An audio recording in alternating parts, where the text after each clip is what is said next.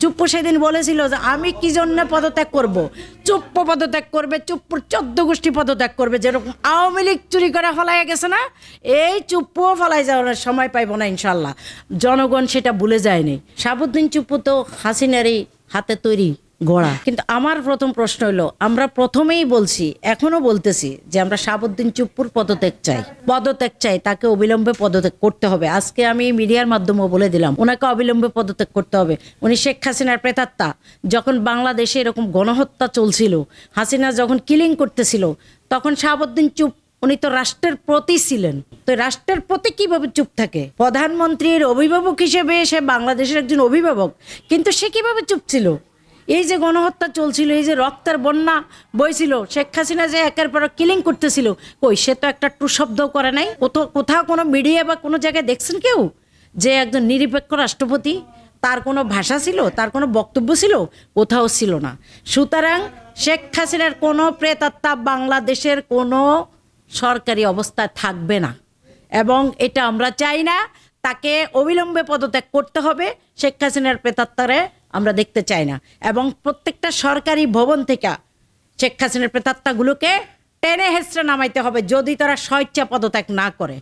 কেননা এই বাংলাদেশ গণ অভ্যুত্থান করে শেখ হাসিনা স্বৈরাচারী হাসিনা মুক্ত হয়েছে।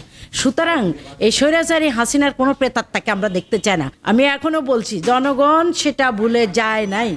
জনগণের ঘাড়ে পাড়া দিয়ে জনগণের রক্ত চুষে এই চুপ্পুরা এই খুনি হাসিনা, স্বৈরাচারী হাসিনা, সে কিন্তু ক্ষমতায় টিকেছিল। তা আজকে জনগণ সেটা বুঝতে পেরেছে দেখে এই গণ অভ্যুত্থান ঘটেছে। এবং শেখ হাসিনা বলছে না, আমি পালাই না। শেখের বেটি পালায় না।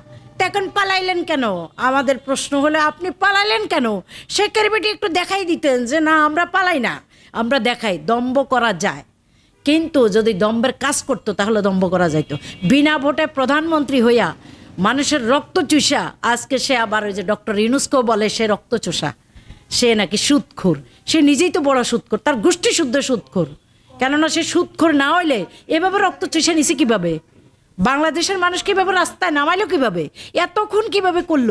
আপনারা তো দেখেছেন, কীভাবে পাঁচই অগস্টের কথাই আমি বলতেছি, যে আমাদের ছেলেগুলোকে পুলিশ এমনভাবে গুলি করছে, লাশ একের পর এক শুধু ভ্যান গাড়িতে পালাইছে। মানে কুকুরের মতো, কুকুরকেও মনে হয় মানুষ এরকম ভাবে হত্যা করে না। একের পর একের ব্যান গাড়িতে ফালাইয়া, তারপরে সেটাকে ঠে ইয়ে ব্যান গাড়ি নিয়ে কি করছে? পেট্রোল ডাইলা দিয়া সেই পনেরো বিশটা লাশ পুড়ে কয়লা করে ফেলছে। তাহলে এই ধরনের স্বৈরাচারী খুনি হাসিনা এবং তার প্রেতাত্মারা বাংলাদেশে টিকে থাকবে এত সোজা না।